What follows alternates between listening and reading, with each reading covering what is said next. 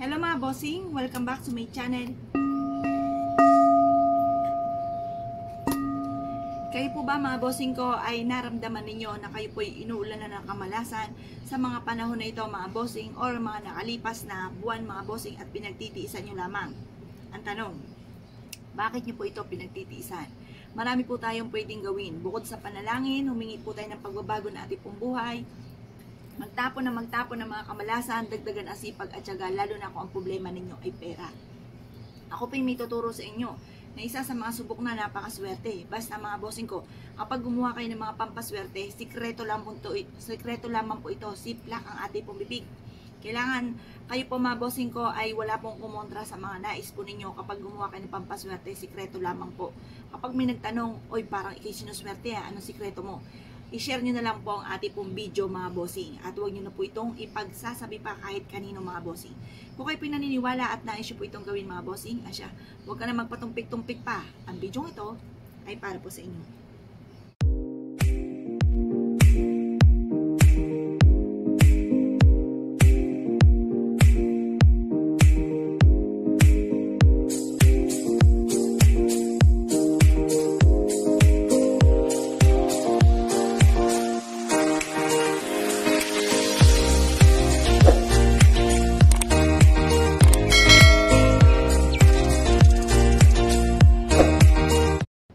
Tayo mga bossing ko ng mga iba't ibang mga pamamaraan para po tayo swertihin sa ating pong buhay. At itong aking share sa inyo ay isa sa mga subok na na napakaswerte. Basta may 100% kang paniniwala sa mga gatong mga pamamaraan. Ngayon pa mga bossing, ano po ba aking sinasabing ito? Kumuha po kayo mga bossing ko ng isang napakalinis na tubig tubig ripo, okay na po to mga bossing. Pero kung may tubig ulan po sa inyo, ay mas okay po yan. Kasi nagmula po yan sa kalikasan. Kung meron kayong tubig na nagmula sa dagat, sa lawa, sa batis, sa ilog, sa balon, basta yan po yung mga nagmula po sa kalikasan, swerte ang dulot basta malinis. Baka may ganyan nga po kayo pero ang dami mga naglutang. Naku, wag na po yan, tubig ripo na lamang. Ngayon po mga bossing, kailangan natin ang tubig. Ang tubig mga bossing ko ay isa sa mga proven at napakabisa po nito na humihigop ng mga negatibong enerhiya at nagbibigay ito ng kasaganahan. Tubig ay kasaganahan mga bossing.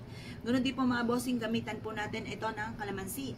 Ang kalamansi mga bossing ko ay isa sa mga uri ng citrus. Pag sinabing citrus mga bossing, mabisa po yung pantaboy ng mga kamalasan, panghatak ng swerte. Ano-ano mga citrus? Kalamansi, lemon, oranges, dayap, suha, dalanghita, yan po yung mga citrus po natin. Ngayon po mga bossing, uh, gamitan natin ng tatlong kalamansi. Ang kalamansi ay bilog, ito po ay nihahalin tulad sa barya na mabilis gumulong ang magandang kapalaran. Ang kalamansi mga bossing ko ay kulay green, green is for money mga bossing. Hugasan muna natin itong ating kalamansi at ilalagay po natin ito sa tubig mga bossing. Ganito lamang po ang ating pong gagawin mga bossing. At pagkatapos, gagawin nyo ito, nakaharap ka sa may silangan mga bossing at magwi-wish ka dito. Sabi nyo sa pamamagitan nito ay magtutuloy-tuloy ang pasok ng swerte sa atin at kailanman na hindi na tayo mamumblema tungkol sa usapin ng pera. Lahat ng mga pangarap natin ay matutupad. At pagkatapos ito mga bossing ko, ibibilad po natin ito sa sinag araw. Pero lubos-lubosin nyo na yung mga wishes po ninyo mga bossing. Sample lang po yun. I-wish nyo kung kayo mananaya, manalo na kayo ng jackpot, kung kayo po negosyante, kayo po ay um, magkaroon na lagi ng malaking benta, mag-wish kayo na mula sa inyong pong puso, team na panalangin, sabi niyo dito sa akin negosyo ay dito na ako yayaman. Ganun po, direct to the point ang pag-wish. At pagkatapos, i-wish nyo kung may problema kayo sa inyong pong mga anak, sa inyong pong karelasyon, tungkol sa inyong kalusugan, lahat na po, i-wish nyo po dito na maligtas kayo saan man kayo tutungo, hindi kayo mapahamak. Pagtapos na po kayo mag-wish, ibilad nyo ito sa sinag ng araw hanggang alas 8 ng umaga. At pagkatapos ng alas 8, kunin nyo po ito. Pwede nyo siyang ilagay sa tapat ng pintuan ng main door para doon pa lamang sa may papasok na negatibong enerhiya sa may main door po ninyo. Hindi na siya papasok or kaya hihigupin ka agad siya po yung mga negatibong enerhiya ng dudulot ng kamalasan. Ganun din po mga bossing ko, pwede nyo po ito ilagay sa may center table, sa hapagkainan kung saan kayo nakain. Pwede rin po ito sa may altar po ninyo. Pwede rin ito sa ilalim ng inyo pong higaan. Marami kayong pwedeng paglagyan po niya. Basta yung tubig natin, hindi po siya nagdudumi, tapos hindi po siya matutunan matutuyo, okay po ang dulot po nito. Kung halimbawa parang madumi na, hugasan nyo po yung kalamansi, hanggat pwede pa, hindi naman bulok, hugasan nyo po muli, tapos lagyan nyo ulit ng tubig, ganun po muli ang gawin po ninyo, mag-wish po muli kayo. Huwag po kayong magsasawa na paulit-ulitin yung mga magagandang salitain po na ibuka sa ating pong bibig. Yung mga pangit na salitain kagaya ng pagdaing, Nako, yan po ay pagdadasal natin sa mahal Panginoon na mabago. Pero yung mga salitain ng mga magaganda, sabi niyo po, yayaman ako at magtatagumpay lahat ng mga pangarap ko ay matutupad. Matutupad po yan mga bossing.